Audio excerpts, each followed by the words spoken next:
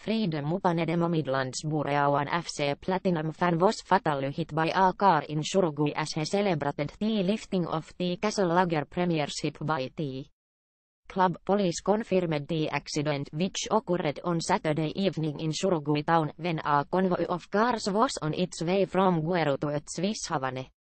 FC Platinum had just defeated Kapungu FC in Guero to be crowned 2017 PSL Champions. Police identified the deceased as a Kumbulani Ötshisale 36 of Platinum Park at Swiss Havane FC Platinum spokesperson Amasakhido Ökhisondo described the incident as tragic. The now deceased was in one of the buses which was carrying our supporters back to at Swiss Havane after the game at Ascot Stadium in where the team Shield T-League Championship, she said when the convoy stopped in Shurugui with people still in celebratory mode. One of the fans was hit by a car which was behind as he disembarked from the bus. A witness said the death of the fan dampened the celebrations. During the celebrations, some cars which were part of the convoy would skid while honking, he said.